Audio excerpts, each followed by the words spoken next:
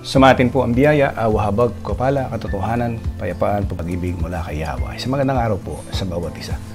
Ano po ba ang ibig sabihin ng Hanukkah? Hanukkah, minsan po ay tinatawag itong Shanukkah. Ito ay isang Jewish holiday na ipinagdiriwang para sa walong araw at gabi.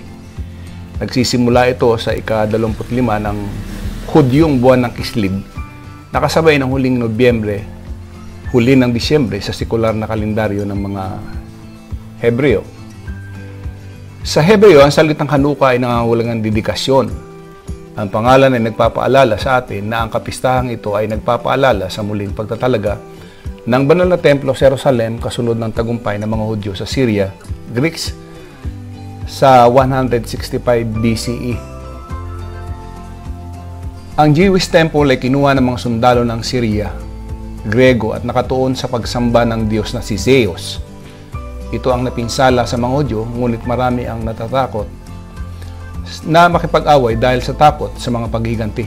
Pagkatapos ay sa 167 BCE, ang emperador ng Syria Grego na si Antiochus ay gumawa ng pagsunod sa Judaismo na isang pagkakasalang pinurusahan ng kamatayan Inutusan din niya ang lahat ng mga Hudyo na sambahin ang, ang mga Diyos ng Grego.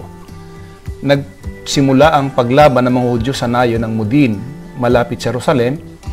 Ang mga sundalong Grego ay sa pilitang nagtipon-tipon sa mga nayon ng mga Hudyo. At sinabi sa kanila na yupod sa isang Diyos-Diyosan. Pagkatapos ay kumain ng laman ng isang baboy, parehong mga gawin ay pinagbabawal sa mga Hudyo. Isang opisyal ng Grego ang nagutos kay Matatias isang mataas na saserdote upang tanggapin ang kanilang mga pangailangan. Ngunit tumanggi si Matatias na saserdote. Nang tumawid ang isa pang taga-baryo at inalok na makipagtulungan sa ngalan ni Matatias, ang mataas na saserdote ay nagalit. Hinugot niya ang kanyang tabak at pinatay ang uh, villager. Pagkatapos ay ang Gregong opisyal at pumatay sa kanya din pagkatapos sinalakay ng limang anak na lalaki at ng ibang taga-baryo ang mga natirang sundalo at pinatay lahat. si Matatias at ang kanyang pamilya ay nagtago sa mga bundok kung saan ang ibang mga Hudyo na nagnais na labanan ng mga Greeks ay sumali sa kanila nang maglaw na nagtagumpay sila sa pagbawi ng kanilang lupain sa mga Grego at sa mga, ang mga rebelding ito ay naging kilala bilang mga Maccabees o Hasmoneans nang mabawi na mga Makabeyo, ang kontrol, bumalik sila sa Templo ng Jerusalem sa panahong ito ay spiritual na nadungisan sa pamamagitan ng paggamit para sa pagsamba ng mga banyagang Diyos. At gayon din sa gawi tulad ng pagsasakripisyo ng baboy, ang mga hukbong Hudyo ay determinadong linisin ng templo sa pamagitan ng pagsunog ng langis ng ritual na minora ng templo para sa walong araw.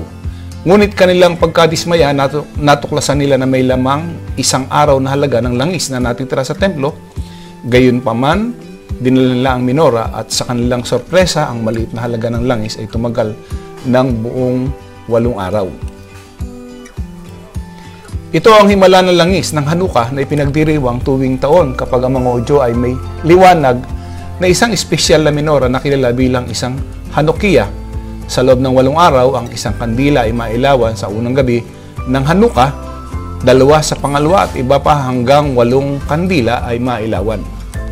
Ayon sa batas ng Hudyo, ang Hanukkah ay isa sa mga hindi mahalaga sa mga pesta opisyal ng mga Hudyo. Gayunman, ang Hanukkah ay naging mas popular sa modernong kasaysayan dahil sa kalapitan nito sa Pasko.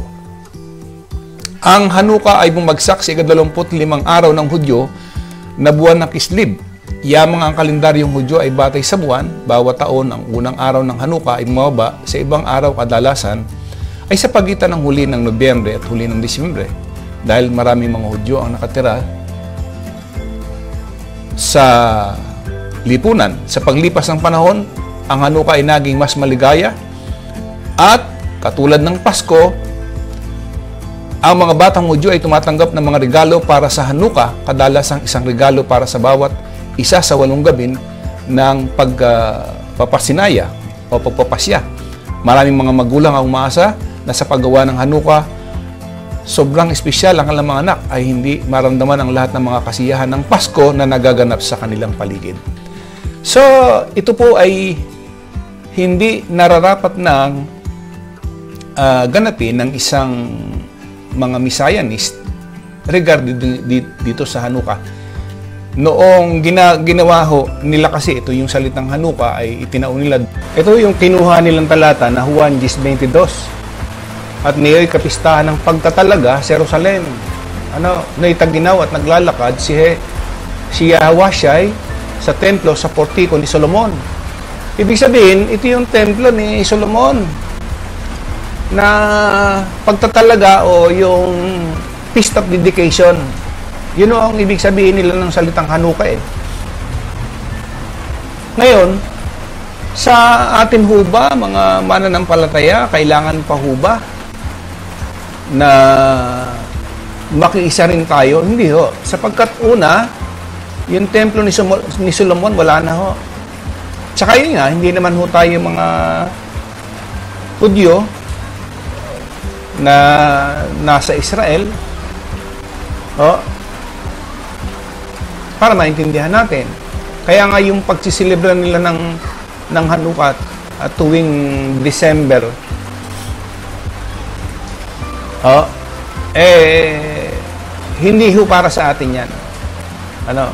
Kaya nga nangyayari diyan uh, na itataon lamang akala kasi nung iba na parang Pasko rin ng mga Katoliko. Pero sa kanila magkaiba ho yan.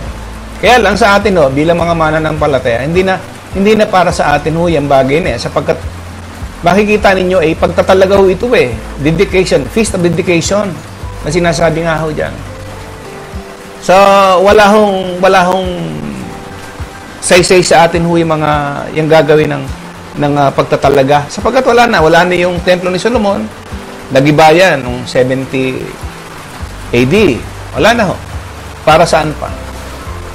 Ano? So, wala ho itong hindi nangyari sa panahon nila Apostol Pablo na